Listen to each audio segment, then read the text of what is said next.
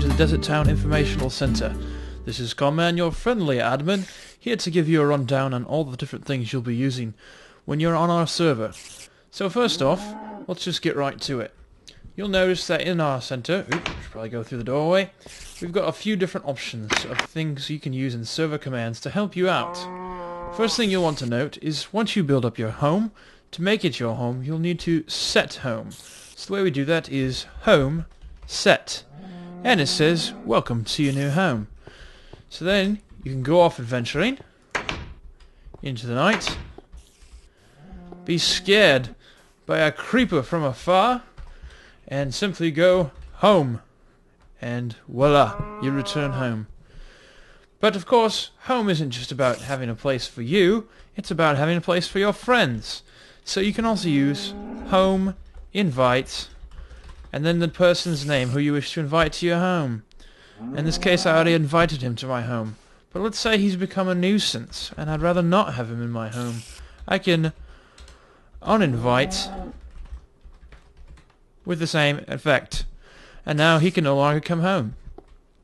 Now, if I wanted to go to Paco's home, I would go home, Paco 3346, and that would take me to his home. Of course, he doesn't have a home yet, so that won't do me very much good. Now, let's just say you're in the middle of somewhere strange and don't know where you're going, and all of a sudden you wonder, where am I? Well, where am I gives you that information exactly. So make sure you put that to good use. One other great nifty feature we have here is an entire economy. So when you have supplies and ill-gotten gain, then you'll want to put it somewhere safe. So let's go ahead and put out a chest. And now, normally, you know, if you put out a chest, anybody can open it and put stuff in or out of it.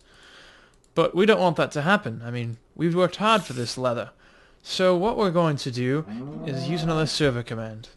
And we're going to go slash c private. And then it's going to say left click the block to lock it. And you go up to your chest and left click it. And it says the created the protection successfully. So now, you note down here that says notice this private chest is locked by you. So only you or a server admin can now get into this chest. Now, let's say you'd rather share this chest with a few friends. You could also go C password and then type in a password like Minecraft and then click it. Of course, I've already registered this chest, so that's not going to work. But that's how it would work. Alright, so that's how you would do that. Now let's say you wanted to make a public chest. You wanted to say, well, I, have been a bit too stingy. Everyone should be able to get this. C public will allow you to make a public chest or object. Alright? Chests, furnitures, doors, anything like that can be made. Alright?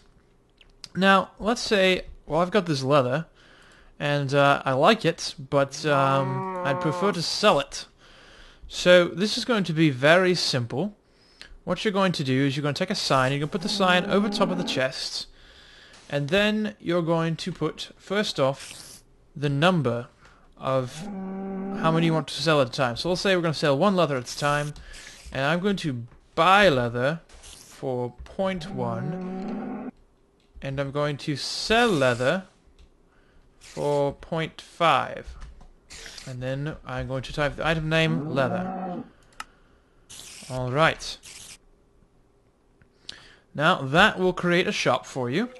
And then, as you can see with these, if you wish to buy something, people can left click on it to buy or right click to sell. If you left or right clicked on your own shop, it won't do anything.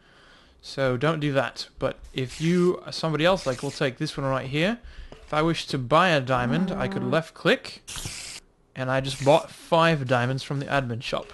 Of course, there are several places you can do this. You can make a shop anywhere you want to, but we highly recommend that you go to one of our local marketplaces. These marketplaces are several places throughout the world and contain areas where multiple people are setting up shops. Information is in here on how to set up shops, and you can see we have a whole economy working out. We hope this video has been informative to you. I'm going to head home. And that is all for today's tutorial video.